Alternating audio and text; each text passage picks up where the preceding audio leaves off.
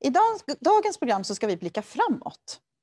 Vi ska börja med en nordisk utblick där representanter för våra grannländer, Finland, Norge, Danmark, ska ge oss eh, sina lösningar på hur skola och kulturarv kan samverka.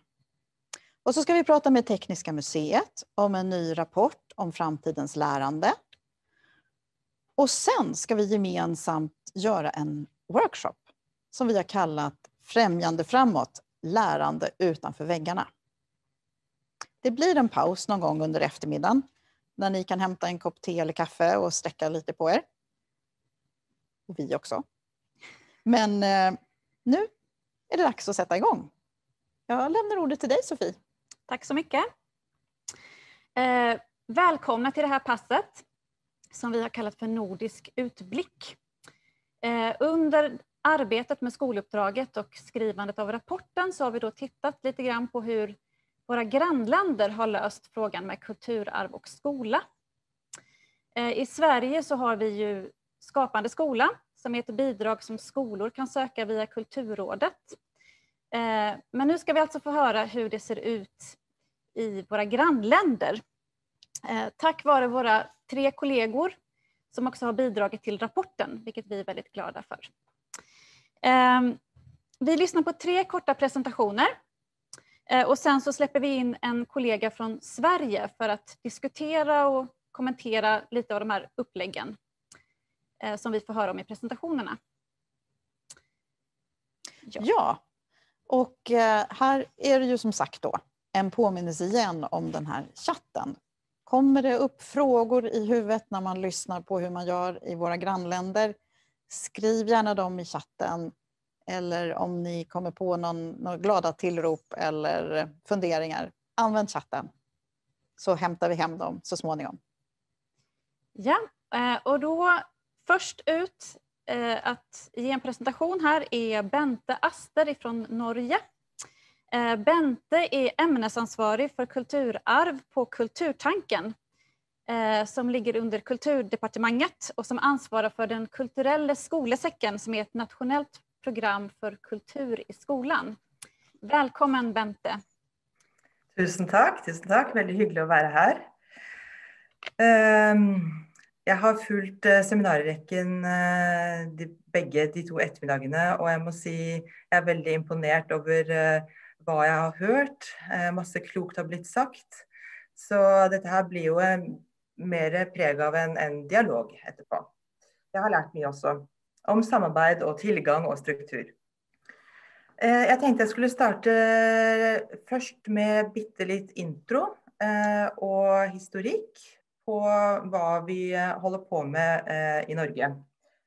Ehm, Den kulturella skolsäcken eh, det är ett nationellt kulturprogram med ett starkt demokratiserande mål. Og den kulturella skolesekken den firar faktiskt 20 år nästa år. Eh, og den skal vise altså hele bredden av de seks kunst- og kulturfeltene som omfattes. Og det er, som dere kan lese, film, kulturarv, litteratur, musikk, scenekunst og visuell kunst. Eh, DKS er også del av en lang historie eh, i Norge som startet man kan si, i et nasjonsbyggingspolitikk da, etter eh, andre verdenskrig. Eh, på lik linje med eh, Riksteatret, Rikskonsertene og Riksutstillinger på 60-tallet.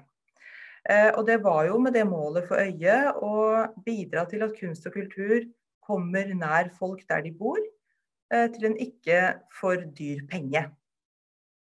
Dere hadde tilsvarende i Sverige også for en del, tenker jeg.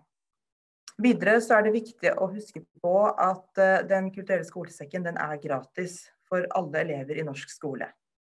Det er ingen som betaler penger for den. Men når man snakker om skole, så ønsket jo du, Sofie, at eh, jeg eh, forklarte litt hvordan skolen i Norge er organisert og sammensatt.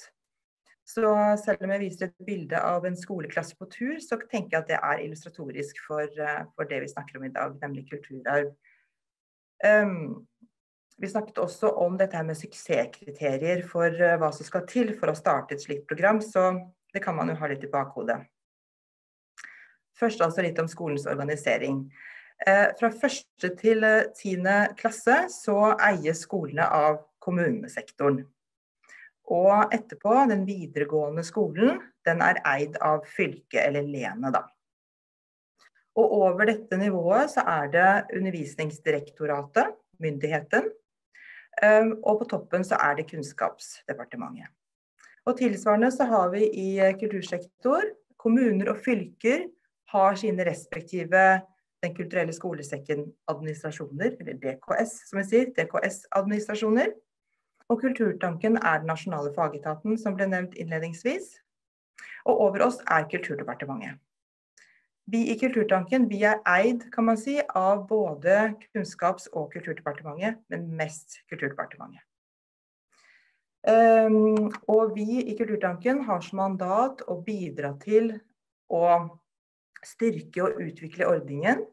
um, sette relevante temaer på dagsorden nasjonalt, og bidra til nettverk og samhandling.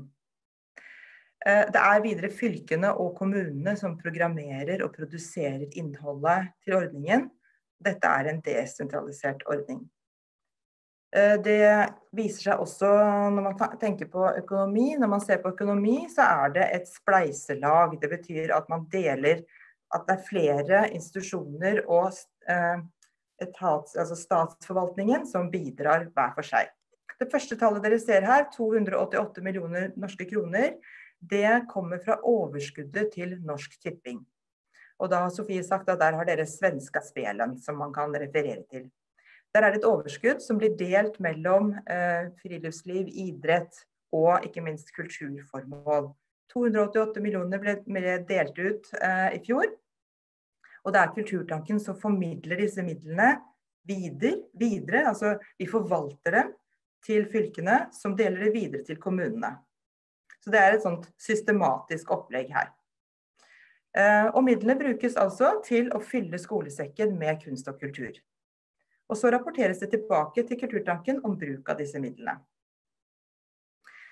Eh, men når man ser på dette tallet, så ser man da til sammen hva vi omsetter for hele ordningen. Fordi det er kommuner og fylker da som også legger i penger hos seg. Så vi omsetter da for en halv milliard och og litt over det norske kroner årlig. Det er med andre ord en ordning som bærer preg av lokal og regional selvbestemmelse, eh, med nasjonale mål og krav om rapportering.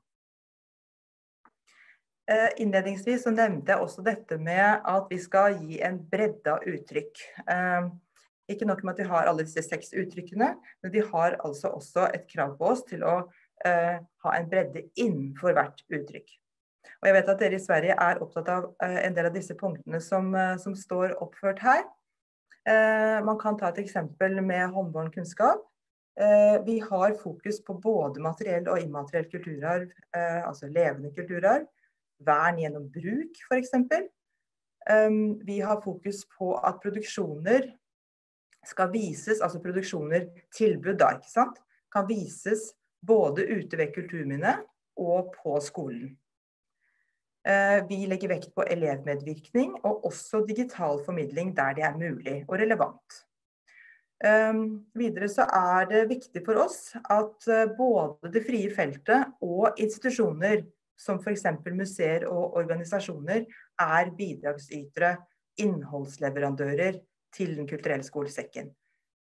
Och så är vi alla med på kvalitetsdebatten, tänker jag.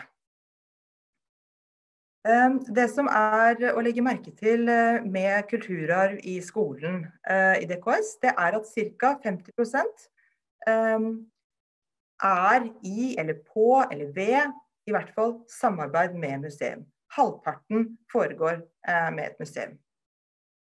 En annen ting att å legge merke til er at når kulturarvtilbudene først skjer, så eh, varer de en stund. Eh, de fleste tilbudene varer mellom 90 minutter og 5 timer. Men faktisk 23% varer over 5 timer. Hvilket betyr at når man først er i gang, så bruker man faktisk ganske mye tid. Gjerne også med bussing. Eh, som det også ble nevnt i de tidligere dagene her. Det som är eh, liksom väldigt viktigt för eh, Norge och DKS nu, det är det som sker i skolan. Där foregår det stora ändringar. Vi kallar det fagfornyelsen i skolan. Där ska alla klassetrinn genomgå eh, en ändring i vad eleverna ska lära och hur de ska lära. den. Eh, så det er en endring i læreplanene, og siden læreplanene endres, så må også lærerutdanningene endres. Alle fag startet i august. Det gjelder fra alle, altså fra første klasse i småskolen til avsluttende videregående skole. Det som er interessant med fagfornyelsen, er jo at nå må også DKS endre seg til en viss grad. Og det som er eh, godtemaene her, som vi kan klippe fra i fagfornyelsen og lene oss mot, det er jo disse tre begrepene demokrati og medborgerskap, folkehelse og livsmestring og bærekraftig utvikling. Det er veldig viktig. Og det er veldig enkelt å hekte på kulturarvproduksjoner, og for så vidt andre produksjoner også, til disse temaene. Eh, og som det har blitt sagt eh, tidligere også, så er det jo ikke bare altså for kulturarvsdel, det er ikke bare historie som er relevant i skolen. Det er selvfølgelig også samfunnskunnskap, geografi, språk, matte, musikk, sløyd osv. osv. Kunst og håndverk. Eh, vi prøver å bake det inn i ulike faggrupper. Det som har kommet inn nå i, i fagfornyelsen, er eh, noen viktige temaer som jeg også vil at dere skal vite om. Og det er dette med historisk empati och perspektivmångfald och kritisk tänkning. Det vet jag att också dere snakker om i Sverige. Eh, och så må jag också understreke att detta, detta här med att Den kulturella skolesekken det skal være noe annet enn en skoletime, eller en, eh, uh, en, en klassetime. Eh, men, men, samtidigt så skal Den kulturella skolesekken samspille med læreplanene. Så det är en balansegang här. Det betyr at produksjonene våre må være relevante på skolen og ha høy kulturell og kunstnerisk kvalitet. Må ha formidlingskvalitet og medvirkningskvalitet. Eh, DKS skal med andre ord være med på å oppfylle andre sektorers mål, uten å fire på egne krav og mål, Och og uten å bli skole. Så tänkte jag att vi kunde se kort på statistik. Här ser dere alla uttrycken fordelt. Eh, kulturarven, som dere ser, har väldigt många titlar. Alltså många aktiviteter. Det betyder antal produktioner i och tillgängliga. det är det uttrycket som har flest grejer på gång, kan man säga. Enkelt. Eh, de först är på turné, så eh, på händelser där i gult, så ser man at ja, eh, kanskje 16-17 eh, på lik linje med noen av de andre der. Eh, så skjer det ganske mange ganger. Da, da bruker man f.eks. dette med båtbygging. Da, da vises denne produksjonen flere ganger. Ofte flere ganger for dagen. Når det gjelder eh, deltakere, så ser dere at vi ligger helt midt på treet. Eh, I forhold til musikk så er det veldig få som kan konkurrere. Men där ligger vi. Det som är väldigt viktigt är att det är i Kommune-Norge detta sker. Det är kommunerna som bokar allra mest av kulturarv, Och det betyder ju att kulturarv är närmast oss där vi bor. Det brukas till identitetsbygging annat. Mycket mindre tillbud på fylkesnivå.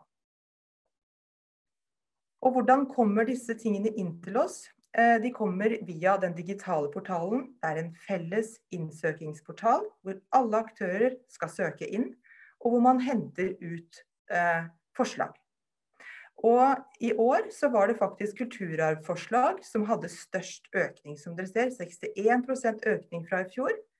Um, og det var på mange måter vinneren, kan man si. Um, bare noen bilder igjen. Vi har fokus på samisk i DKS, med mål om att öka andelen samiska produktioner. Gärna nya kunstnere. Ni ser Anders Sonna här under. Eh, vi önskar att utvida eh, produktionen så att man får ett geografisk spridning på det ute i landet.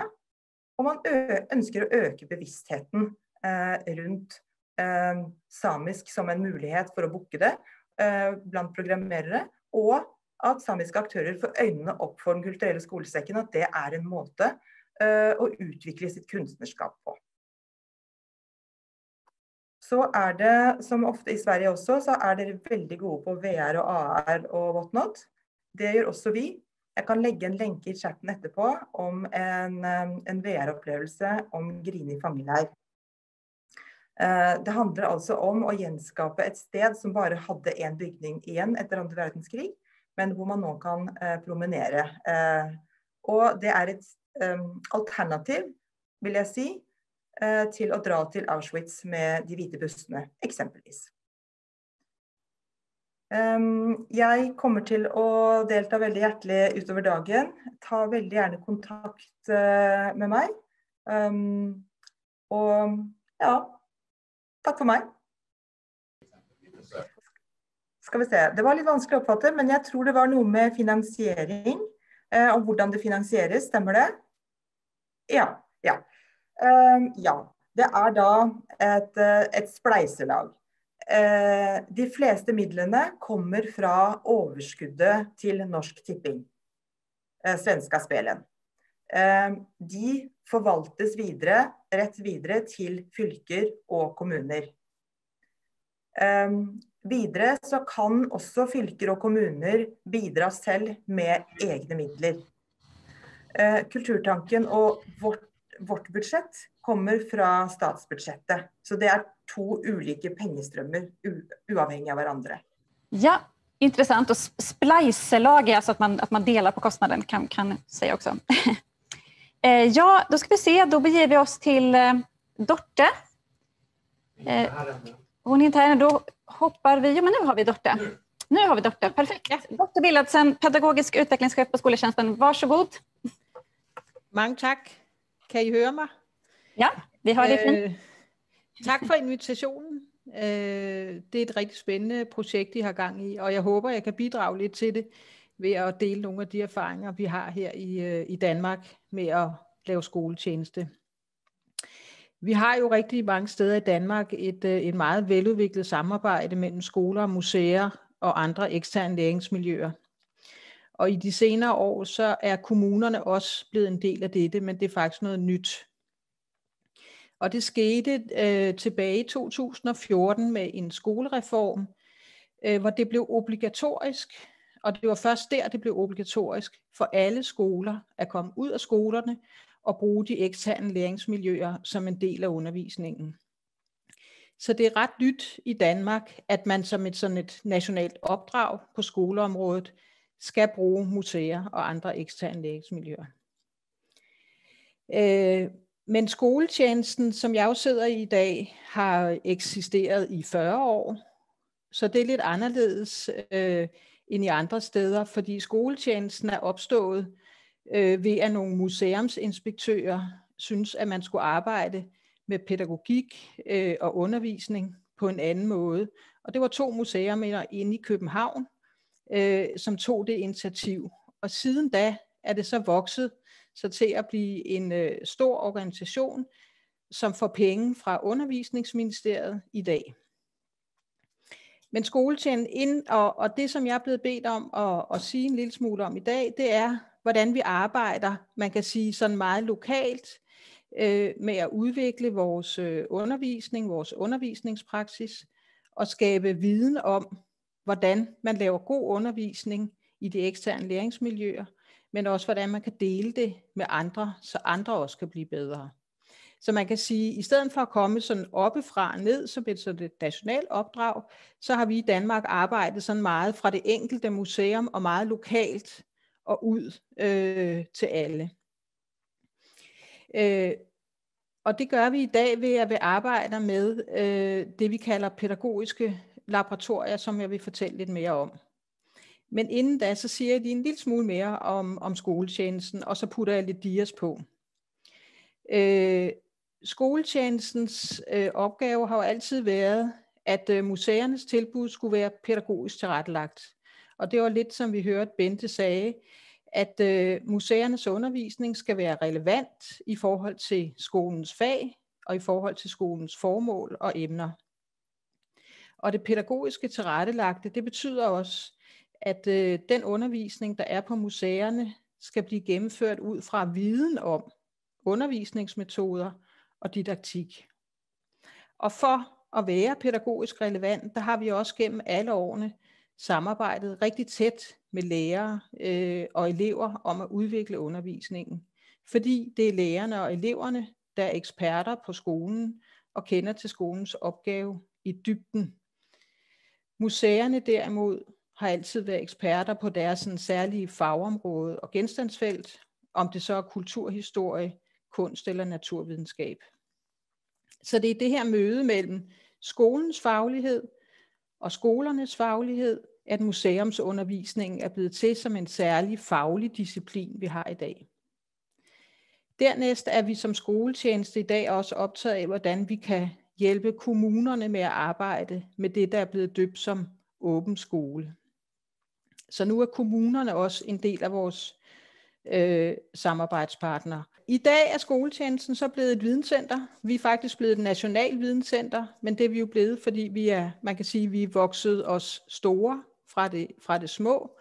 Øh, og, øh, og vi er et videnscenter, øh, som er et praksisbaseret videnscenter. Det vil sige, at vi arbejder med at skabe viden om de lærende partnerskaber mellem eksterne læringsmiljøer og brugerne, og det er jo både skoler og daginstitutioner og ungdomsuddannelserne. Og så arbejder vi også med at udvikle lokal og regional praksis i samarbejde med kommunerne rundt omkring i landet. Og så samarbejder vi med lærer- og pædagoguddannelser, og her er det vores vision, at, øh, at man som under uddannelse, som enten som lærer eller som pædagog, får det ind som et grundelement i uddannelsen, at man skal bruge eksterne læringsmiljøer i sin pædagogiske praksis. Og det er ikke, det er ikke nødvendigvis en del af, af lærer- eller pædagoguddannelsen alle steder i dag i Danmark. Og endelig så arbejder vi også med, og det er det, jeg skal sige noget mere om lige om et øjeblik, om at indsamle og systematisere og skabe viden om undervisning i eksterne læringsmiljøer, for at kunne dele det med andre, der er interesseret i at arbejde øh, med brugen af undervisning i eksterne læringsmiljøer. Når vi siger, at vi er et videnscenter, så er det ikke fordi, vi laver sådan forskning i traditionel forstand. Det er sådan mere casebaseret viden, øh, som vi arbejder med i, i de pædagogiske laboratorier, og hvor vi forsøger at generalisere det og omfor, omsætte det til nogle formater, som kan inspirere og, og hjælpe andre. Så når vi udvikler viden i de pædagogiske laboratorier, så bruger vi det til at igangsætte øh, forskellige typer af aktiviteter, der hvor der er behov. Det vil sige, det, vi bliver ikke bedt om at gøre det for nogen, men det er folk, der henvender sig til os, og så siger de, jamen øh, vi har brug for øh, lidt hjælp til øh, at få i gang sat nogle aktiviteter i den her kommune. Kan øh, ja. nästa bild, eh, ja. Jag tror att ja. du är kvar på samma. Ja. Kör gärna upp den i full skärm också. Kan jeg det? Det kan jeg godt. Sådan. Øhm, så, så, så jeg går lige tilbage her. Jeg vil, jeg vil egentlig også gerne lige sige, øh, også i forlængelse af det, som Bente hun var inde på, altså for, for skoletjenesten er mødet med, med kunst og kulturhistorie og natur, øh, det er noget, som har et dobbelt formål. Det skal både understøtte læreplaner og de faglige mål ind i skolens fag, men det skal også bidrage til børn og unges dannelse som medborgere.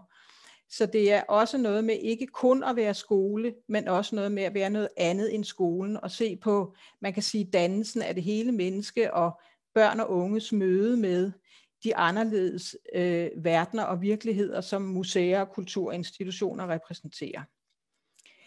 Men de pædagogiske laboratorier, det er så en arbejdsform, som, som vi har udviklet, og det er, øh, der, der er flere formål med de pædagogiske laboratorier.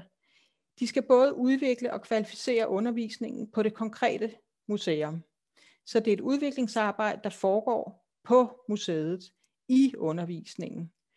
Og så skal det opsamle de erfaringer, man laver på det enkelte museum på en måde, så man kan dele det med andre. På den måde så udvikler vi viden om praksis, men vi udvikler også viden til praksis. Og vi ser, at den måde at arbejde på er at indgå i et større videnskredsløb, som kompetence udvikler hele vores sektor bredt. Øh, den måde, vi arbejder med pædagogiske laboratorier, er inspireret fra aktionslæring eller aktionsforskning, kalder vi det også. Øhm, og det, der skal man tænke sig, at øh, man er på et lokalt museum, og øh, man arbejder med en undervisningspraksis, men der er et eller andet, man gerne vil blive bedre til. Der er noget, man måske undrer sig over. Øh, der er noget, man gerne vil, øh, vil udvikle. Der er nogle nye undervisningstilbud, som man gerne vil, vil udbyde til skolerne.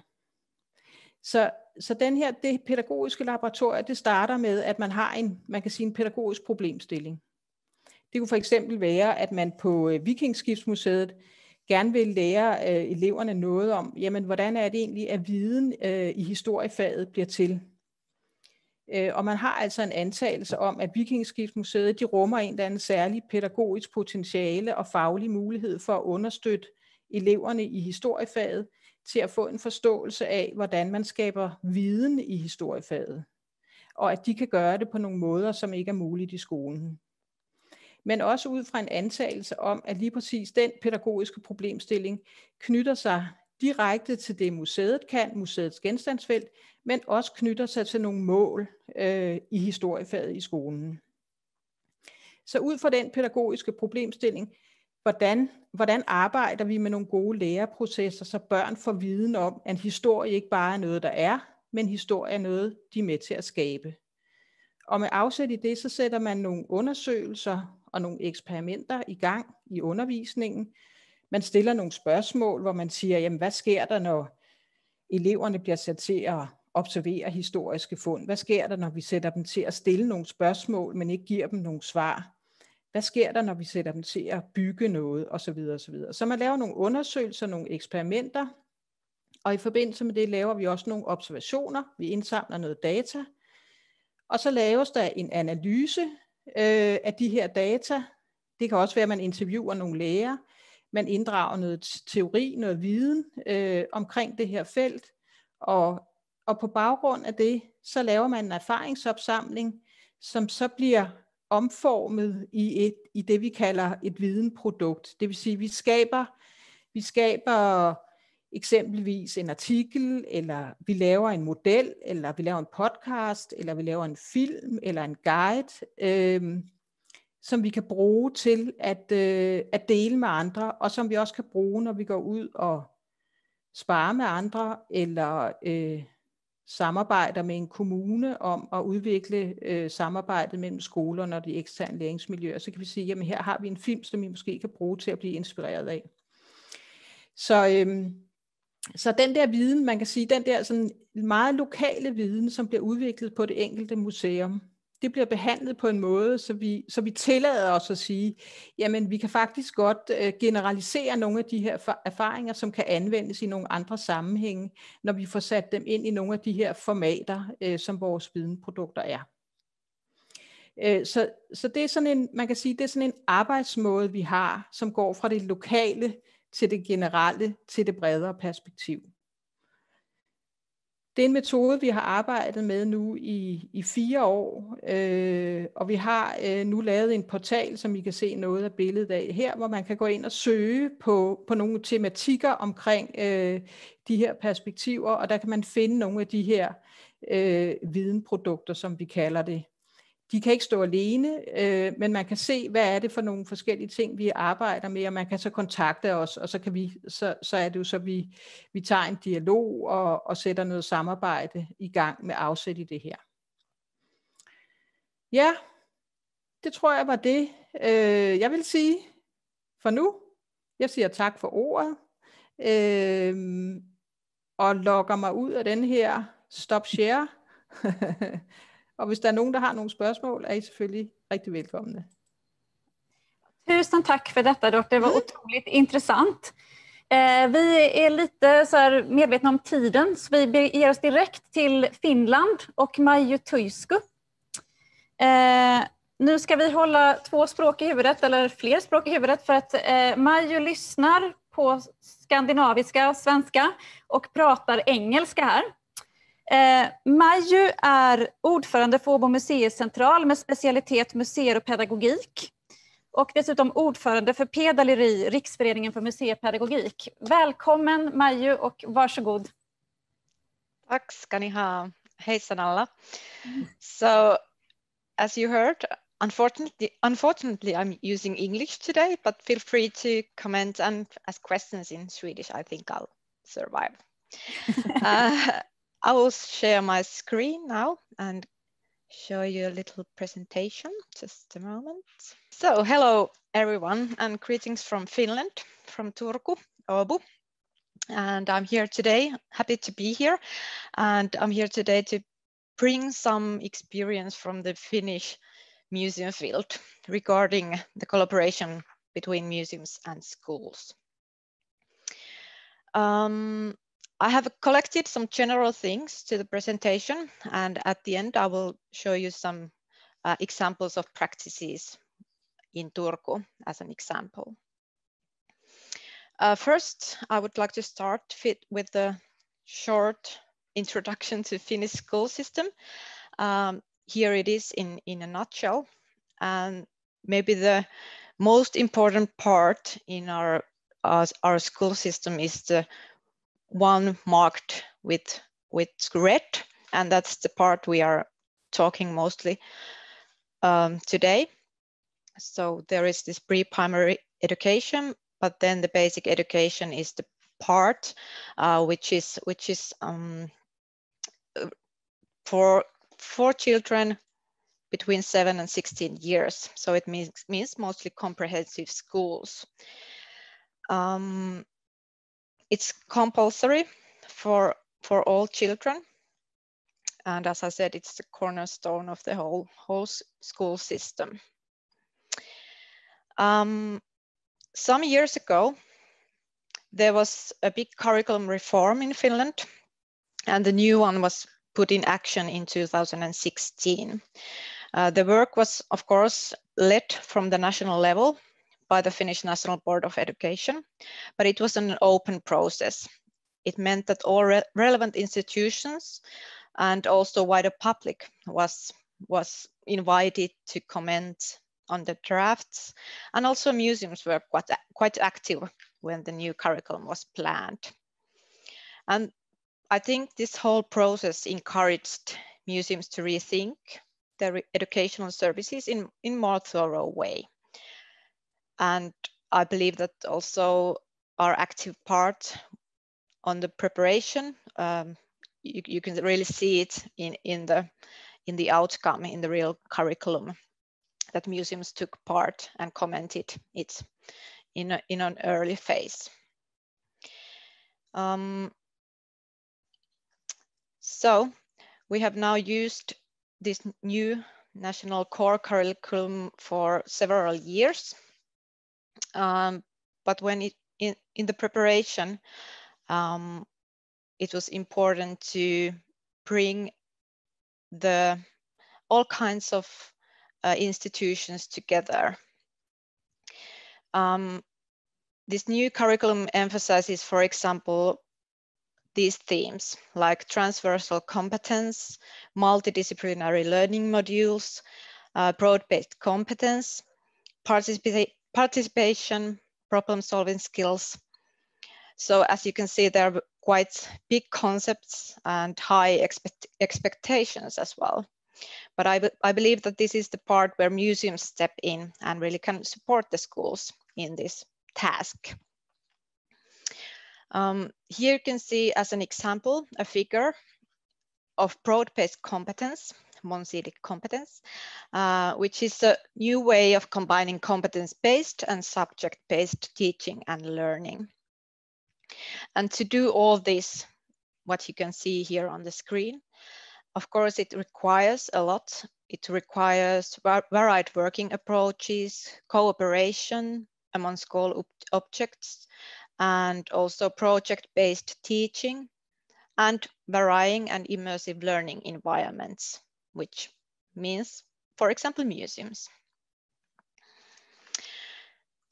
Here you can see the different levels of the curricula. Um, central steering is done by Ministry of Education and Finnish National Agency for Education. That means the national core curriculum. Uh, it defines, for example, educational priorities and, and things that are written into national core curricula. Then there are local decisions that um, are made in cities, in municipalities, and they can be made about local curriculum uh, and some other practical things. And lastly, individual school, schools prepare their own school curriculum. But today uh, I'm going to tell a bit more about these cultural educational plans, which can be included into local curriculum.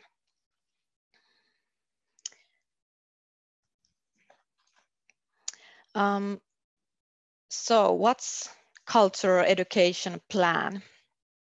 Um, um, it's, it's a plan made in a city or in a municipality, uh, which tells or instructs how culture, art, and cultural heritage education is executed as a part of the municipality's teaching. So it concerns the grades from one to nine, which means the basic education. Uh, it's, it's done in cooperation with education and culture sector operators. So this means that it's based on area's own cultural institutions and heritage. So you can really use your own strengths. It offers equal opportunities to participate and, and get to know the local heritage, culture, and art. Equal opportunities mean that the plan applies to all schools, regardless of their location or economic situation. And of course, it brings opportunities for schools, schools as well. Um, it means that they can find new ways of learning and also new learning environments. For, for cultural operations, for example, for museums and artists, uh, it, it means uh, increases in visitor volumes and of course it also widens the audience base because we are dealing with the future's culture audience. You can see a map here. Uh, it's quite old. It's from 2016, so the situation has gone a bit better, but this shows the areas where the cultural education plans have been made. At the moment, um, one third of the of the of our municipalities have this this plan made, and the work is still going on, of course. Um, next, I'm going to show you our um, example from Turku. Uh, it's called Experience Path, Upplevelsestigen på svenska. And here's a long text, but I wanted to include it um, because it's from the local curriculum of our city where the experience path has been included. So Turku City Culture Path was launched in 2005. It was quite early uh, here in, in Finland. Um, and in 2016, it was combined with the themes of environment and entrepreneurship as to experience path. Um, and here you can see how it is defined in the local curriculum. It's defined as action uh, that is carried through in the basic education. It combines actions outside the classroom to one whole. And also, it, for example, the aim is to give pupils experience, experiences in different institutions and also to, to create varied learning environments. So quite similar things than, than in, in the national curriculum. When planning, uh, in 2016, when planning the experience path, it was vital for us in the museums to take new curriculum into account. And we, museum educators in the city, took quite active role in this and we combined our forces.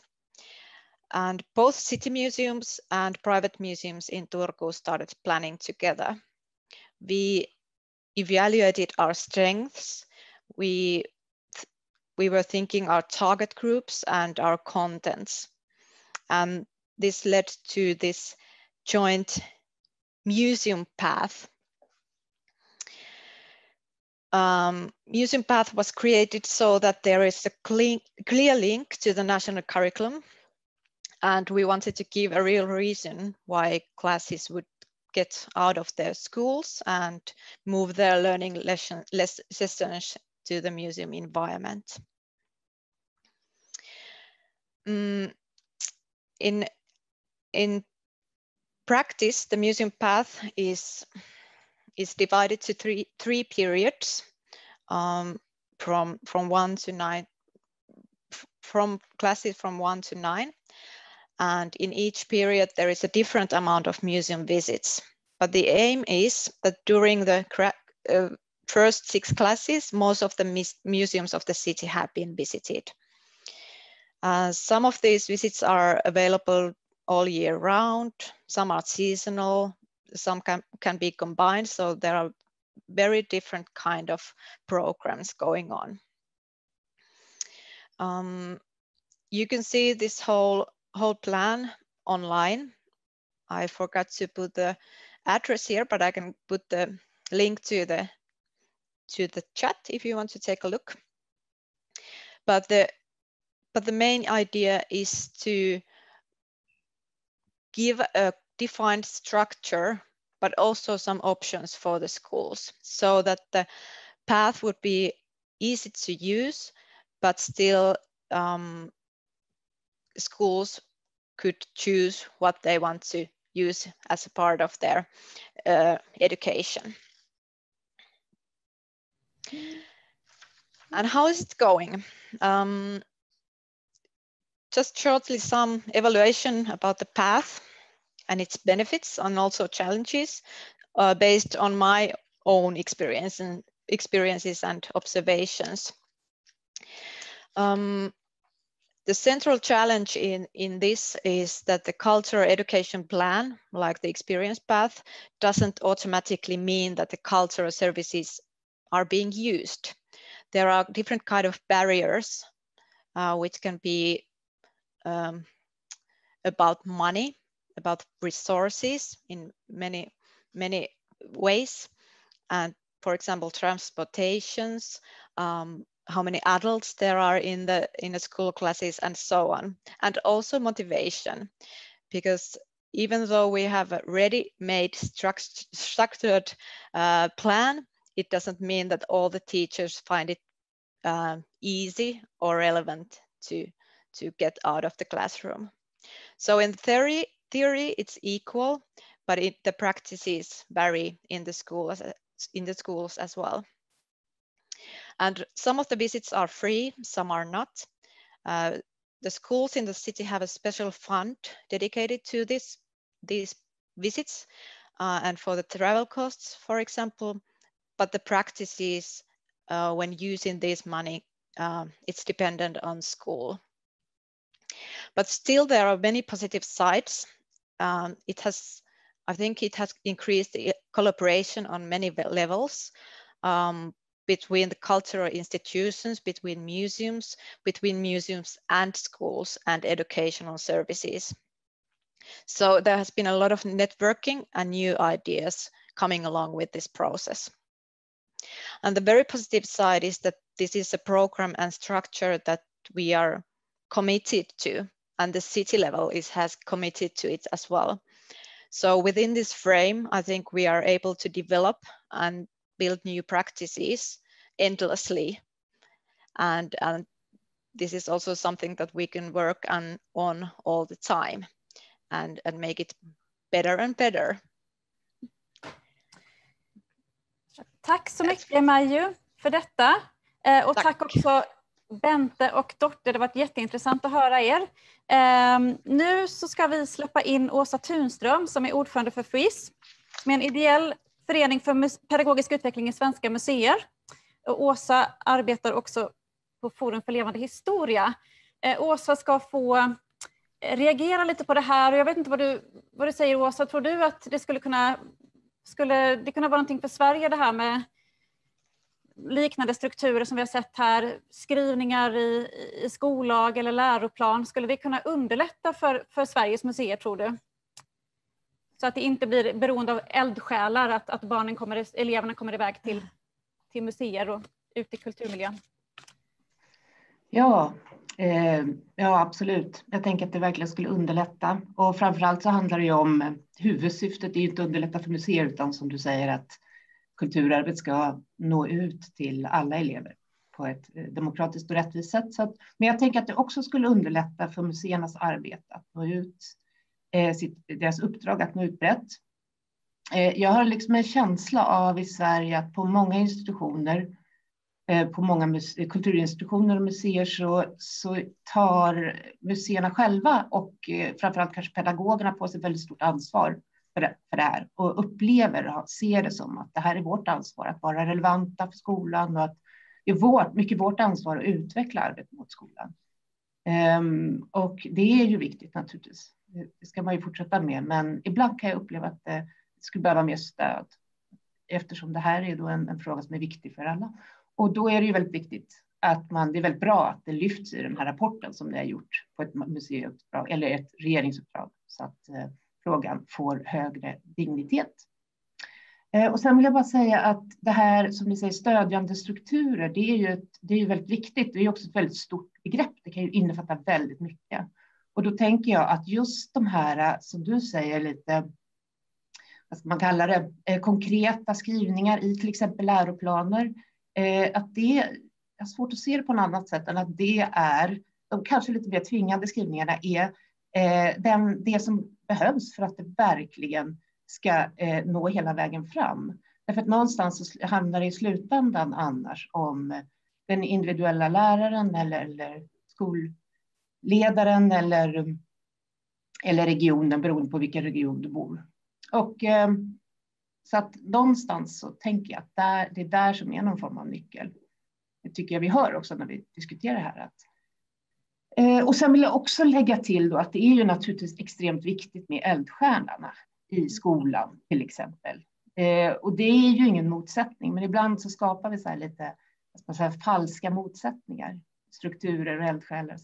Eh, för att det är ju ofta de här eldsjälarna som vi använder oss av som vi behöver för att utveckla vårt arbete i skolan. Det är de som de är helt, eh, vi klarar oss inte utan dem, tänker jag. Och så handlar det om. Det är ytterligare en reflektion att eh, ska man ha lite mer tvingande skrivningar någonstans så handlar det om att det måste, det måste ju kombineras med olika stöd och resurser också på olika sätt. Det är en ganska delikat stor fråga. Någonting som vi FRISP gärna ja, skulle vara med i en fortsatt diskussion om. Ja, ja, det är en intressant balans det där med hur man eh, med stödjande strukturer och ska man styra och hur mycket ska man styra och så där, verkligen. Ehm, ja, hur ligger vi till nu i tid? Alltså vi ligger ju tyvärr till så i tid att vi behöver avsluta det här passet. Trots att det finns så himla många frågor och så himla mycket att och liksom prata på tvärs om. Men det får vi fortsätta med lite grann i chatten kanske medan vi har en paus. Eh, eller i andra forum. För annars får vi inte rum med det vi har tänkt, i, tänkt sen. Så nu, får säga tack, jättemycket tack för att vi fick eh, ta del av erfarenheter från våra grannländer. Eh, tack också Åsa som var här. Ja, och nu tar vi paus. Eh, det är inte bara Sofie och jag som är här och Björn som ni har hört lite grann i, i sändningen utan vi har också Lars Lundqvist med oss i sändningen. En annan kollega. Är du där Lars? Ja, tänk för att jag är det. Nej, det är toppen. Ja, det är otroligt. ja, jag tänker lämna över till dig. Ja, bra. Eh, jag hoppas att Peter Skog är med här också. Eh, men jag kan inleda här i vart fall. Och, eh, Jag har jobbat med det här skoluppdraget tillsammans med mina kollegor som ni ser i bild och eh, lite annat folk och eh, jag har mest jobbat med det här skoluppdragets digitala delar. Jag tänker alldeles snart släppa in vår gäst för det är den viktiga personen här idag. Jag är mest bara en, en biperson kan vi säga. Och, eh, men jag vill gärna att ni fortsätter att spela in i chatten med frågor och synpunkter. Och så där. Det har ju varit superbra alla de här tre dagarna. Så fortsätt gärna det. Um, uh, och vi kommer även givetvis avsluta med en liten frågestund. Då. Men till saken. Uh, analysföretaget Kairos Future uh, presenterade ganska nyligen en rapport som är en sorts spaning, framtidsspaning kring hur kulturarvsaktörer kan möta upp samtid, både samtidens och framtidens utmaningar. Och bland utmaningarna finns ju det här att det, det finns en eh, otrolig mångfald av aktörer och plattformar som erbjuder mycket av det som vi som kulturarvsaktörer försöker erbjuda, nämligen kunskaper, upplevelser och platser för att människor möts. Då. Och där har ju inte minst, inte minst då internet och webben och en massa nyare tekniker spelat en väldigt stor roll i, i den här förändringen. Då. Så det har hänt väldigt mycket på de här 25 åren. Då. Eh, och med det så är vi ju rätt många, vi är rätt många som är lite fundersamma kring hur, eh, lite vilsta kanske till och med, eh, vad som händer nu med våra roller, yrkesidentiteter, arbetssätt och hur ska vi jobba med lärande och upplevelser i framtiden då? Så, vad behöver vi tänka på som medarbetare, som ledare på institutioner, chefer, finansiärer, huvudmän, för att vi ska kunna utveckla våra verksamheter på ett hållbart sätt. Då. Så därför kom det här Kairos Futures framtidsspaning väldigt, väldigt lägligt då för skoluppdraget. Jag tror för många av oss andra. Så vad betyder deras spaning för oss och framförallt vad gäller det för vårt arbete med och för skolan? Så därför är vi extra glada då att ha med eh, Peter Skog som faktiskt är eh, rapportens beställare. Och eh, Peter är museidirektör på Tekniska museet i Stockholm så att jag lämnar över ordet till dig Peter. Take it away. Hej allihop. Jag är glad att få vara med i det här sammanhanget och Lars har ju lurat mig att prata utan bilder. Det tror jag knappt aldrig har gjort någon gång. Men, eh, och det är mot bättre vetande jag ska strax eh, förklara eh, lite mer varför jag tycker så. Det här med digitalitet då. Jag måste säga att jag ser mest möjligheter med framtiden och den digitala tekniken. För den ger oss så mycket möjligheter och det kanske inte är så förvånande med tanke på var jag kommer ifrån då. Men den ger oss möjlighet att expandera i tid och rum, precis som rapporten säger. Jag kommer att utgå ifrån att ni har läst den, jag kommer att visa en bild så småningom. Eh, men vi ser inte digitaliseringen som det ena eller det andra, utan både och. Alltså vi är ju väldigt fysiska i, i museivärlden och kulturarvssektorn. Eh, vi tror med stöd i rapporten att framtiden är just fygital, det vill säga både fysisk och digital. Jag ska säga lite grann om Tekniska museet också. Vi har ungefär 400 000 besökare per år och hälften av dem, mer än hälften, är under 19 år. Så vi delar ju målgrupp med skolan. Det kommer ungefär 50 000 elever och 8 000 lärare till oss varje år och så träffar vi i runda slängar 15 000 elever runt om i landet också genom vår mobila verksamhet tack vare olika typer av samverkan som ett annat nyckelord både för de här dagarna och eh, för vårt arbete och i rapporten. Så det är inte alltid tekniska eh, vidareförmedlar det utbud och innehåll vi producerar utan det gör vi kanske till och med i större utsträckning genom andra. Vi är en privat stiftelse med ett nationellt uppdrag och vi har verkligen funderat en hel del över vad det där nationella uppdraget kan vara och vad det innebär för oss att vara hela Sveriges tekniska museum. Och våra stiftare som då är Svenskt Näringsliv och Kungliga Ingenjörsvetenskapsakademin, Svenska Uppfinnareföreningen och Sveriges Ingenjörer har ju gett oss ett uppdrag eh, att jobba med den långsiktiga kompetensförsörjningen. Eh, och vi har också ett statligt stöd som ett normalår ska jag säga, uppgår till ungefär 40 procent av våra intäkter. Av det kan jag också förstå att vi är beroende av andra intäkter och samarbete för att få ihop medel till, till det vi gör. Då. Men att öka intresset för teknik och naturvetenskap för att bidra till den långsiktiga kompetensförsörjningen.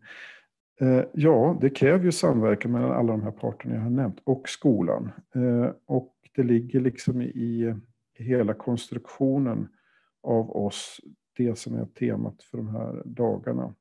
Och vi har verkligen valt att ta det på allvar. Eh, vi söker aktivt hitta nya vägar. Vi, vi provar eh, vägar och vi förkastar vägar eh, för att utveckla den här delen av vår verksamhet som är ganska omfattande. Det är en av de fyra prioriterade målgrupperna vi har, just skolan. Och ett viktigt steg på den här vägen har då varit att eh, beställa den här rapporten, Wow, lustfyllt lärande, vägen till framtiden.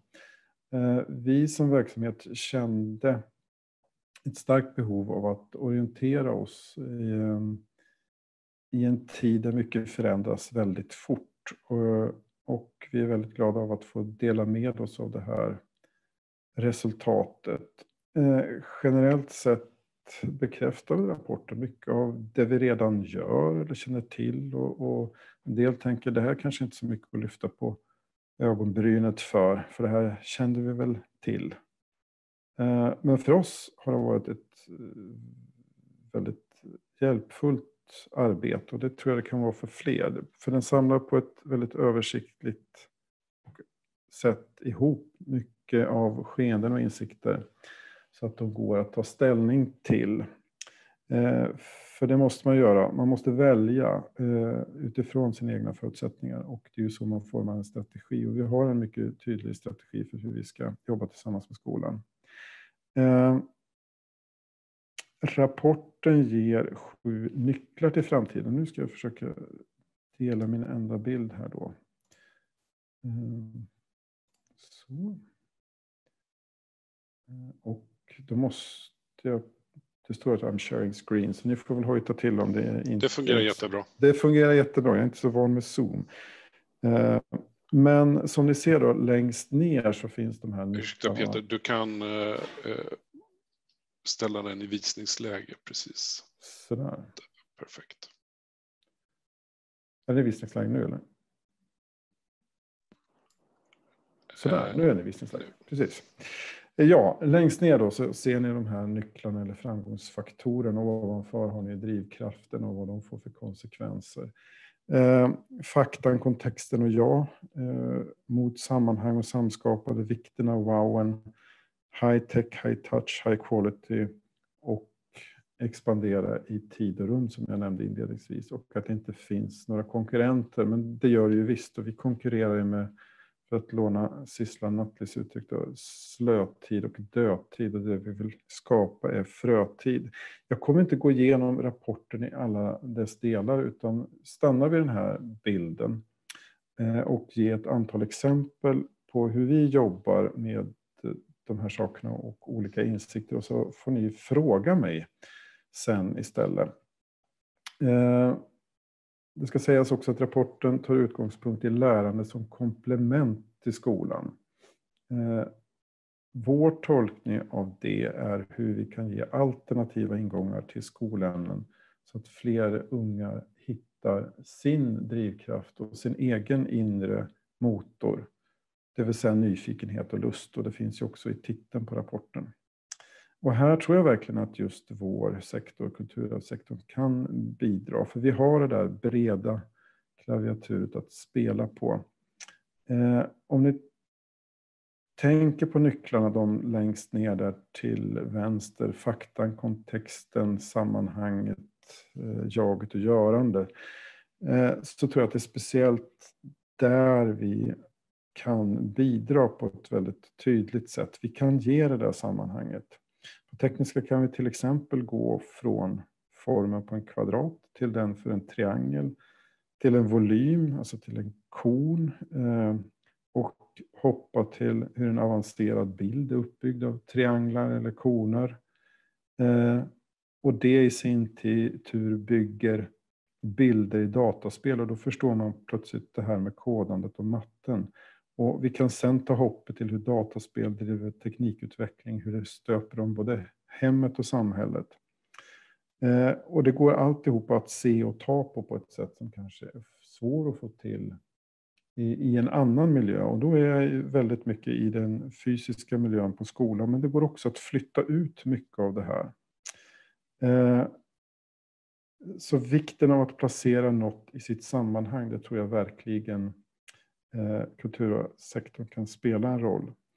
Eh, med modern visualiseringsteknik, där datorn möter människan kanske för första gången på riktigt, kommer vi med flera vara med att lägga grunden för en ny typ av lärande eh, baserad på, på, på det visuella.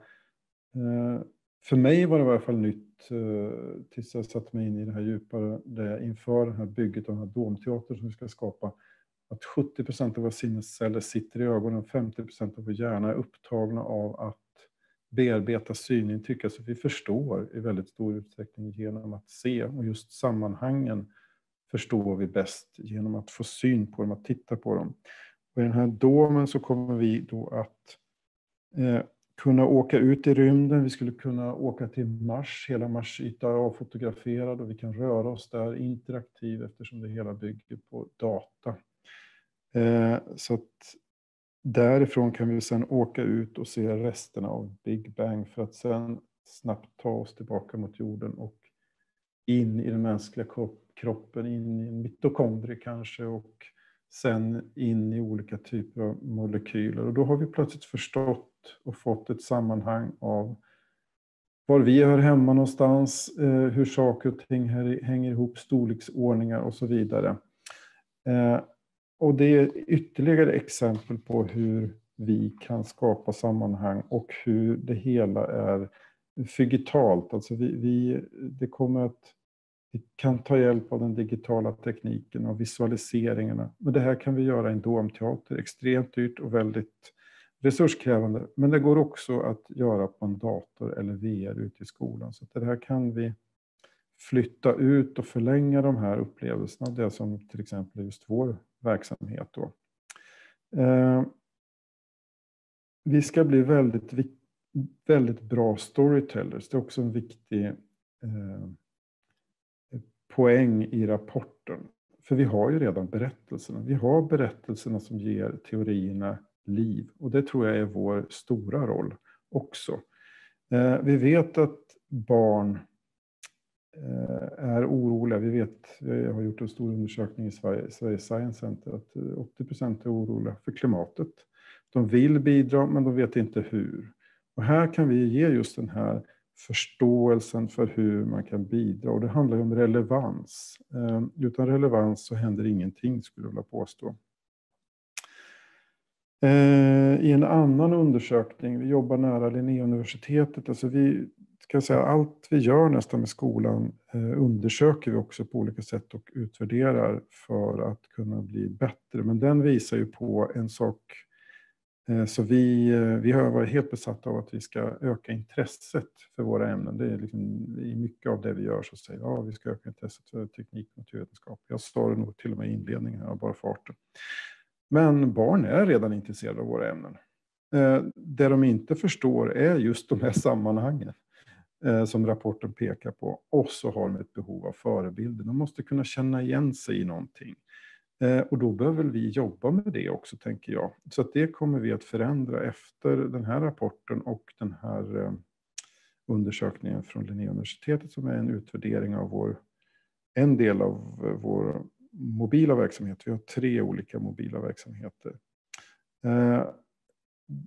Är jag inne då på förebilder så kan jag säga att vi jobbar också med olika typer av förebilder. Det kan vara en influencer, en ren influencer som vi faktiskt eh, betalar för att eh, jobba med. Eller det kan vara eh, barnen från, några barn från Wild Kids som vi har som belöning i en eh, sån här verksamhet. Eller det kan vara att eh, forskare kommer ut från universitetet och besöker skolor skolklasser får man se en forskare möta en forskare. Det är också en förebild. Eller att det är en företagare.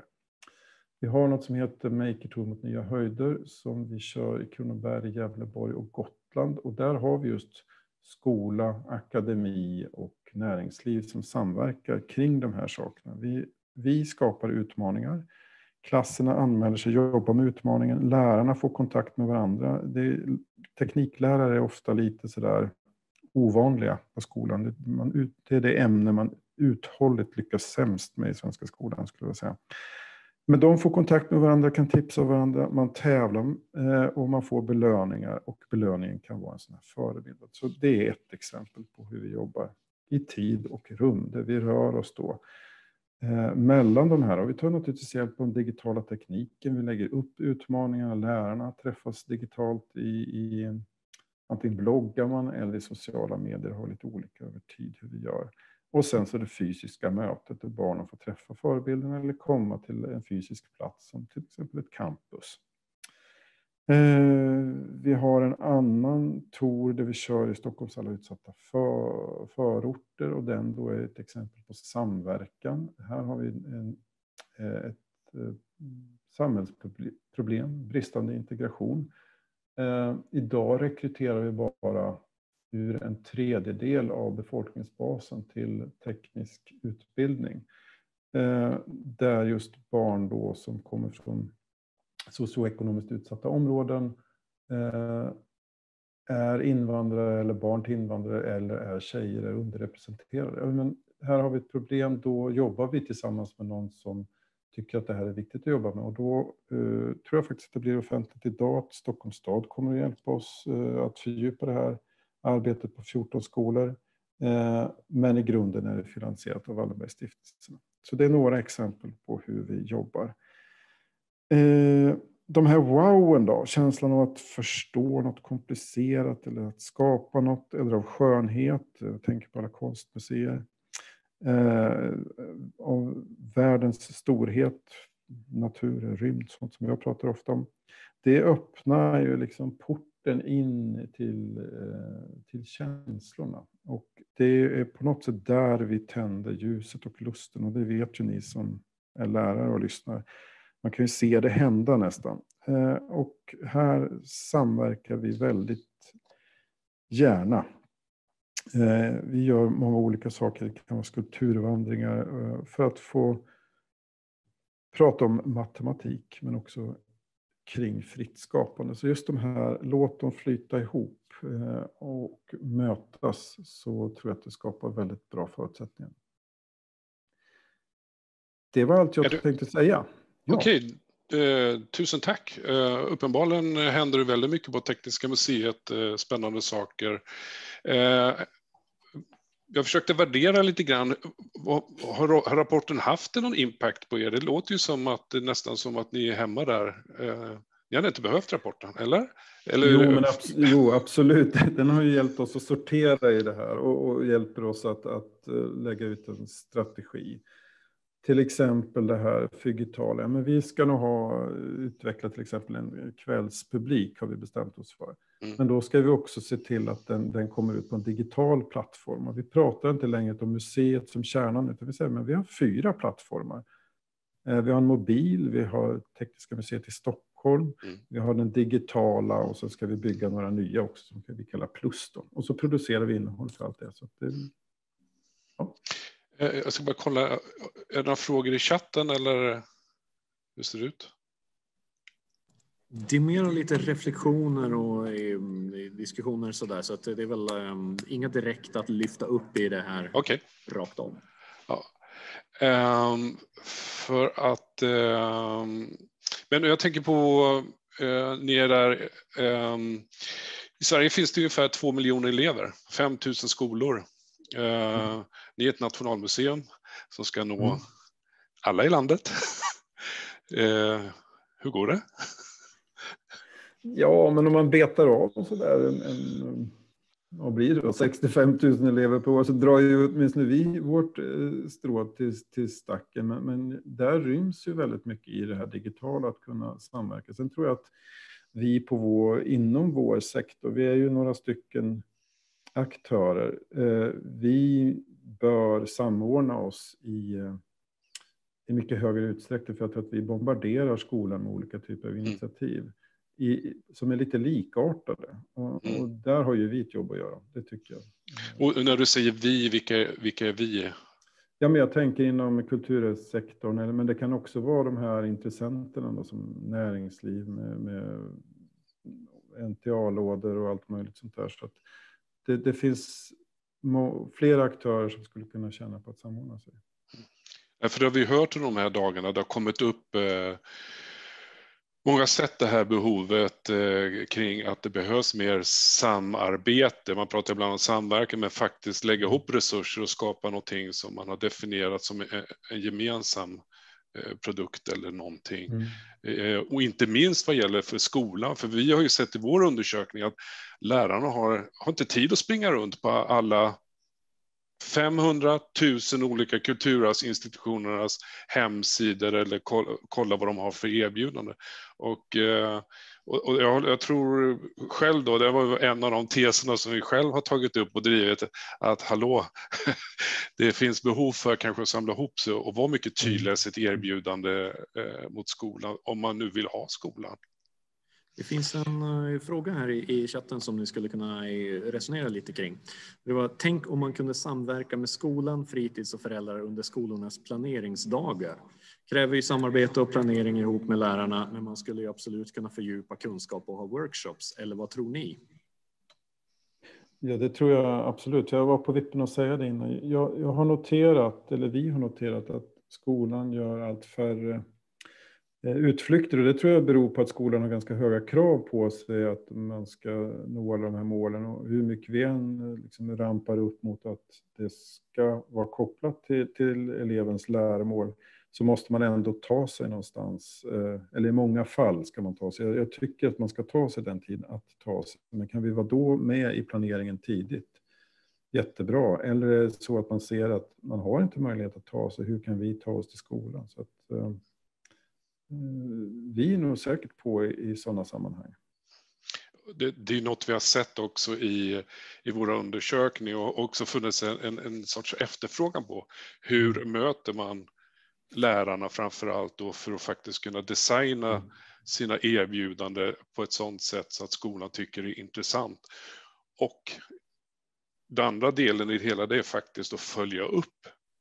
Har vi, gjorde vi rätt saker? Det finns också en sån där, eh, en, ett, ett behov för, upptäckte vi i våra undersökningar. Vi, eh, vi tittar ju också på och har fått frågan, den är inte, den är inte skarp än, men det, det är ändå en, en, en väldigt bra fråga. Om vi skulle kunna tänka oss att, på marknadsföringsspråk heter det integrera framåt. Det vill säga att, att vi skulle till exempel kunna eh, driva en, eh, ett fritids och fortsätta med skolarbetet i områden där man, man har de här behoven. Och, få fler aktörer att samlas kring det. Och det, jag tror att det är ett väldigt bra alternativ, i varje fall för sådana som oss. Sen finns det också Science Center som driver förskolor. Det, det är en variant. Eh, vi utreder om vi ska kunna tillsammans med Stockholms stad ha skola på tekniska. Det är ju väldigt intressant. Jag har ju stött på det där lite här och var och vi var väl lite frustrerade i vår, vårt arbete i och med att vi inte fick ha med fritids också för att Mm. det, det, det finns inte alltid den här direkta kopplingen till läroplanen utan det finns en annan frihet att bedriva verksamhet på fritids. Eh, tror jag, jag är inte expert men så förstod jag det hela i vart fall. Eh, eh, jag vet inte, ja, vi har några minuter kvar eller vill ni kapa mig? Nej, jag får nog några minuter till tror jag. Ja. Eh, annars, eh, när jag läste den här rapporten som, som jag studsade till ganska ordentligt på, jag vet inte om ni har diskuterat det, dels internt hos er på, på tekniska eller ni andra som har läst rapporten, nämligen att, att eh, föräldrar till skolbarn rankar museet extremt låg som en lärplattform. Jag blir faktiskt jättepaff. Det är väldigt många saker som kommer före där. Vad för ni för resonemang kring det? Då får man notera att eh, topp tre eller topp fyra ligger ju Science Center. Och vi definierar oss som både museum och Science Center. Men jag tror att tolkningen av det är eh, också högt ligger ju att, att, man, att man gör det tillsammans, eh, förälder barn. Och där tror jag många eh, museer uppfattas som ytor där man umgås och lär tillsammans. Så jag, jag, tror att det finns ett mörkertal men, men eh, det är ju någonting vi måste fundera på inom vår sektor, absolut. Men till och med böcker och tidningar var viktigare.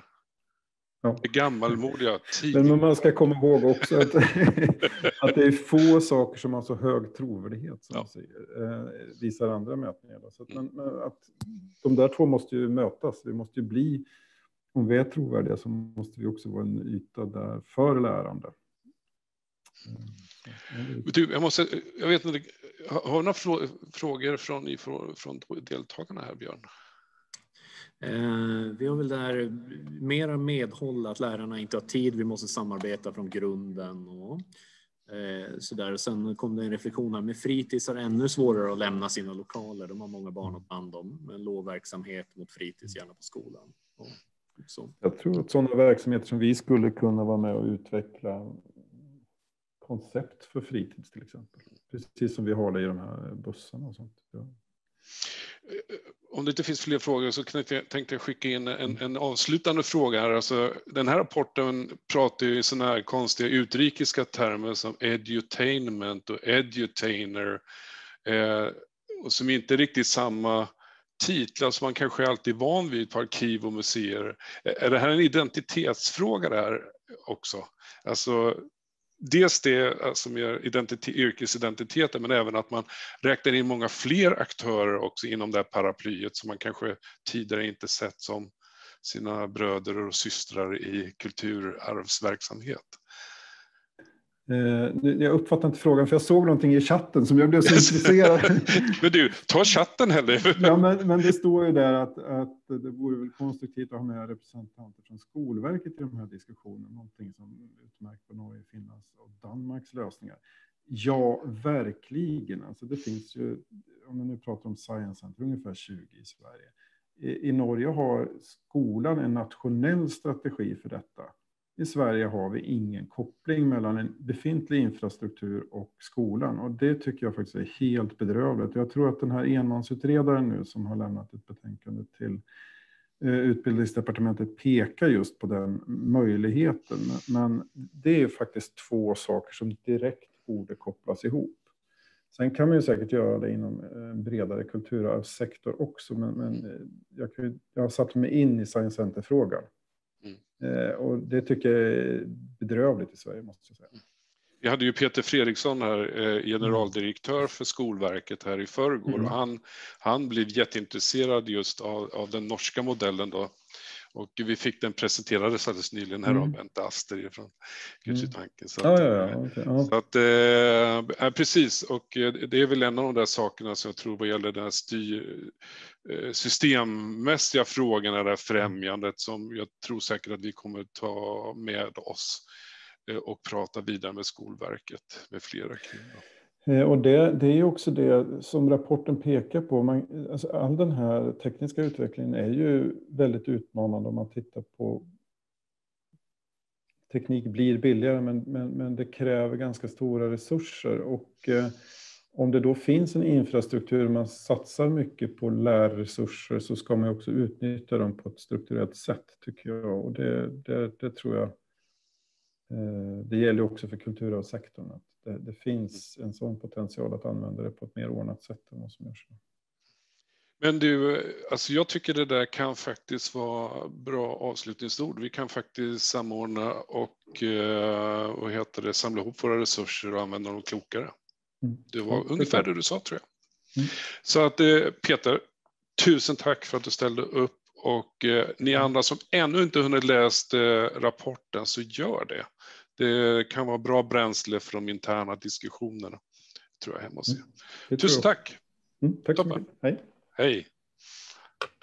Hej och tack Lars också som tog hand om den här punkten. Jättebra. Hörrni, en eh, liten bensträckarpaus behöver man så här dags för att kunna orka med eh, det roliga som vi ska göra härnäst. Så nu tittar jag lite på min klocka, men 15.35 kanske? 15.35 så sätter vi igång igen. Passa på att vifta på armar och ben och hämta lite kaffe. det var ju lite fräckt att skicka ut alla med ett verktyg som de inte kunde använda i de flesta grupper. Det var lite frustrerande kan jag tänka i början, men det löste sig hoppas jag. Och, och vi har ju sett att det har varit aktivitet i alla grupper. Eh, som vi sa innan så kommer vi inte kunna höra er allesammans nu, men eh, vi har ju kvar de här jamboarden i alla fall. Och vi har ju också deltagit några stycken i några av grupperna. Så lite av, av eh, samtalen kommer vi ha med oss. Men vi tänkte att vi, eh, vi väljer ut någon här, till exempel, vad ska vi säga? Grupp nummer fem. Är ni med oss? Vem ska prata för grupp nummer fem? Det tycker jag att Maria ska göra. Jaha. Jaså, ja okej. Okay. Vi hade ju en fantastisk antecknare som var liksom eh, fantastisk på att fylla mm. i de här post-it-lapparna, så jag vet mm. inte. Mm. Mar Maria, det... Maria, Maria Klitte, du kan väl ta det? Ja, du var så kommunikativ Jag tror att det vore mycket, mycket bra faktiskt. Ja, det tyckte jag kändes förtroendeingivande. ja, men tack. Um, vad vi har pratat om, eller rättare sagt vad de andra har pratat om och jag har försökt sammanställa. Um, det som jag tror är absolut viktigast, uh, som faktiskt blev den första kommentaren, det var att vi behöver ha en legitimitet där faktiskt Riksantikvarieämbetet och Skolverket tillsammans med andra kulturarvsaktörer eh, delar upp ansvaret och ser vad det är det vi ska göra och hur ska vi samverka för att faktiskt kunna få skola och kulturarv att samverka på ett djupare plan. Det behövs ju legitimiteten ända ner så att man ser att det kommer från en nationell nivå och sen att man kan jobba regionalt och sen att man kan jobba lokalt. Så det tyckte jag var en väldigt viktig, eh, viktigt inspel. Sen är det kommunikationen. Eh, som eh, alla i gruppen sa att just det här med kommunikationen till lärarna, att eh, vara tydlig med vad det är man kan erbjuda, hur man kan erbjuda det eh, och att det är svårt att nå ut. Ehm, sen var det också, ehm, vi pratade om att ehm, eh, den digitala utvecklingen, hur viktig den är, att kunna få eleverna att eh, kanske gå igång. Vi har ju VR, det finns otroligt mycket som har utvecklats de senaste åren eh, och vi kan vara där barnen är, men med kunskap och kanske miljöer som inte alla kan besöka kanske, men att de kan få uppleva det. Eh, vilket också gör det lättare för alla att få den demokratiska rättigheten att få kunna delta. Eh, det var också det här med att bygga bort trösklarna för att lärarna ska kunna våga komma till kulturinstitutionerna, även de med eh, elever med eh, funktionsvariationer eh, och koncentrationssvårigheter. Fler ekonomiska resurser, eh, mer lärarkontakt med universiteten i utbildningen. Eh, ja, eh, och det som vi kan dela på och försöka få ut tillsammans, kommunikation och digitala plattformar. Jag tror att det var liksom mm. mycket kommunikation, politisk påverkan och nationellt samarbete. Spännande. Tack så hemskt mycket. Tack själva. Superbra grupp. Jättespännande. Eh, då tar vi en lite så här, slumpar vi en grupp till då. Eh, säg grupp nummer nio. Har ni någon som vill tala för er?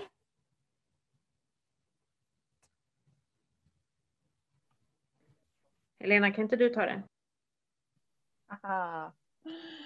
Absolut, det kan jag göra. Eh, vi hade också jättebra eh, diskussioner i vår grupp.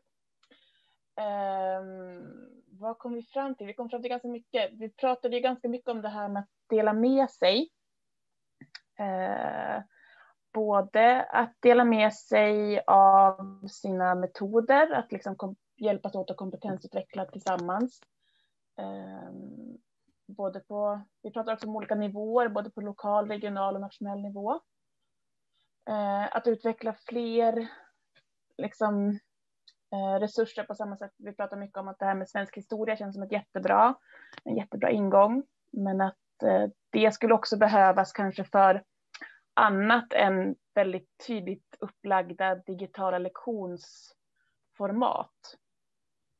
Eh, att det finns så mycket annat man skulle kunna Eh, dela på och dela med sig av ehm, vi pratar väl mycket om, kopplat till det också, det här med eh, uppmärksamheten gentemot eh, lärarna. Så att det behövs någon typ av gemensam avsändare gentemot lärarna. Att de har svårt att sålla i allting och att vi kanske ibland konkurrerar med varandra för att de blir helt överhopade av att alla vill att de ska komma till just vår institution.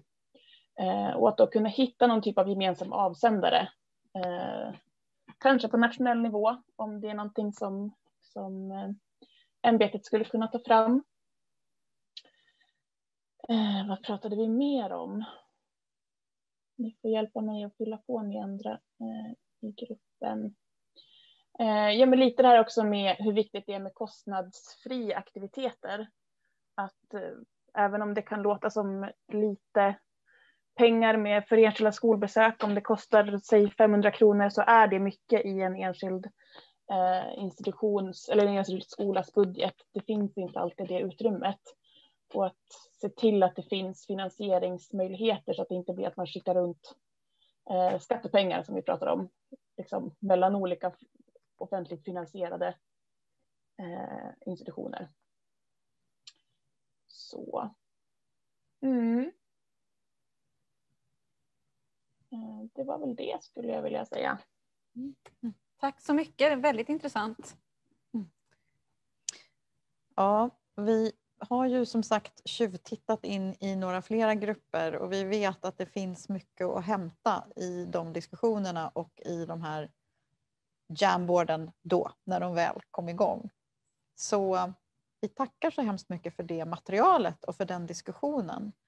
Och jag tänker att de här samtalen som vi för nu, eller som ni har fört i grupperna och som vi för tillsammans, de ska vi ju fortsätta med på olika sätt, tänker jag. För det är en viktig del av själva arbetet, att hålla en dialog igång och få in nya tankar och synpunkter hela tiden.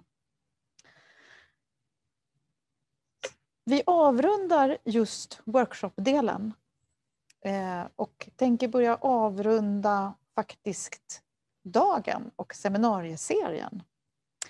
Eh, och det ska vi göra med lite hjälp från den som på sätt och vis har varit eh, huvudansvarig här för eh, i alla fall som är avdelningschef för eh, den avdelning där det här uppdraget har legat. Eh, ansvaret för det här uppdraget har legat på Riksantikvarieämbetet, nämligen kulturmiljöavdelningen. Så Maria-Lena Pilvesma, kan du eh, komma hit, och, komma hit ja. till sändning och säga någonting? Ja. Jag vet att du vill det. Med den glädjen, med den glädjen och hej allesammans, Maria-Lena Pilvesma heter jag, är avdelningschef på kulturmiljöavdelningen på Riksantikvarieämbetet. Jag hoppas att ni hör mig och att jag är ordentligt med i sändning då. Um, ja, eh, det hände någonting i mars i år. Det var en, en bekymrad process, projektledare eh, Karin Günther som jag hade framför mig och hon var alldeles tagen av situationen. Hur ska vi göra nu? Vi har ett regeringsuppdrag som vi ska avsluta i år. Det har blivit en pandemi, vi kan inte träffas, vi kan inte samtala. Ehm, hur ska vi föra dialog med alla intressenter, träffa alla människor både in, inom, inom så att säga den egna sektorn men även över nationsgränser så tillvida att vi når våra nordiska kollegor, hämtar erfarenheter, andra myndigheter. Och plötsligt hände det någonting, någonting som har gjort också den här dagen, inte minst, eller de här dagarna möjligt och er alla att vara med. Inte så mycket ont att det inte ger något gott, tänker jag. För plötsligt började kreativiteten flöda och jag förstår att även om det under hela det här regeringsuppdragets gång har förts och gjorts enkäter, det har gjorts kartläggningar, undersökningar, det har gjorts seminarier. Så under den här våren och sommaren upplevde jag i varje fall att samtalet kom igång på ett helt eh, nytt sätt. Just precis den samverkan som vi har haft i uppdrag egentligen att främja och återvitalisera skulle jag vilja säga. För då kom de här digitala möjligheterna öppnade upp oss för oss att träffas oavsett var vi befinner oss. Och det här tänker jag är någonting så oerhört centralt också i hela den här uppdragets och samtalets och erfarenheternas essens. Ehm, att precis som, jag tror att det var du Charlotte som sa i, ehm, när du sitter där i Skansen just och på, på, påminner oss alla om att samverkan mellan skolväsendet och kulturarvsinstitutionerna, den har en mycket, mycket lång tradition. Eh, mycket lång tradition och den har alltid funnits där.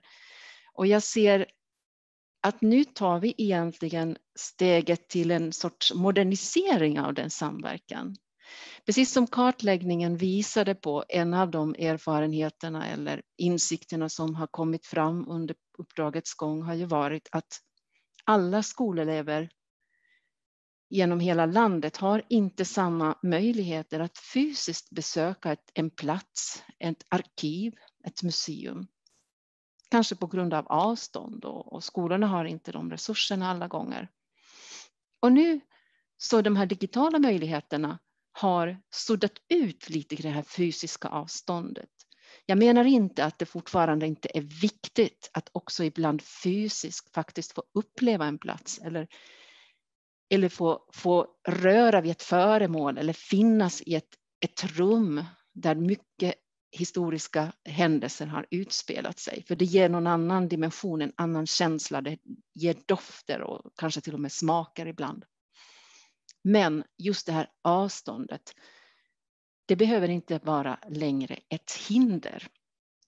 Och då tänker jag som så här att, att efter, efter det här uppdraget har vi på något sätt flyttat oss till en, en modernisering och ett mer tidsenligt sätt att föra oss närmare eh, varandra inom skolan och inom kulturarvsinstitutionerna. Vi, vi kan nå varandra på ett enklare, smartare, längre, eh, lättare sätt också över regions och kommuns och, och nationsgränser om vi så vill. Så det här tycker jag är väldigt spännande och det här visas inte minst under de här tre dagarna som ni har lärt tillsammans och lärt av varandra hoppas jag. Jag har inte själv personligen haft möjlighet att vara med hela tiden, men jag har kollat lite på de sändningar som har eh, pågått och, och inspelningar och annat, vilket också är en möjlighet i vår digitaliserade värld. Ja, vad ska jag säga mera? Ehm, jag ser att, eller det är min erfarenhet bakåt i tiden, att många gånger när det finns uppdrag eh, från regeringen eller andra typer av rapporter och eh, utredningar som, som vi myndigheter till exempel jobbar med, så görs det en avrapportering och sen, sen är det, ja, tänker vi att det är klart. Och det som jag har tänkt med det här uppdraget är att, att det här uppdraget i sig har ju startat upp nya relationer och processer och fört många av er medverkande närmare varandra. Så håll fast i det och för vidare det. För det är en fantastiskt fin grund att som sagt utveckla vidare traditionen som funnits att lära tillsammans. Ehm, Elevernas behov av dåtiden för samtiden, det har ni många vittnat om under de här dagarna. Drömmar ska väckas, drömmar ska förverkligas, hörde jag också någon att säga någonstans. Så min förhoppning är, och vår förhoppning är givetvis på Riksantikvarieämbetet, att samverkan, dialog och erfarenhetsutbyte, att det fortgår, att det här är, är bara en, en början och att vi finner enkla, lätta sätt att nå varandra digitalt och ibland fysiskt någonstans. Jag tänkte inte ta mer tid utan bara nu väldigt mycket tacka alla er deltagare alla samverkanspartner under hela uppdragets gång. Eh, det vill säga Skolverket, museiväsendet totalt sett, arkivverksamheterna, Riksarkivet i synnerhet, eh, Kulturrådet och inte minst slutligen ett väldigt stort tack till alla, alla som har gjort de här dagarna möjligt på alla olika håll i landet och även i Norden. Jag tänkte inte säga så mycket mer. Hjärtligt tack.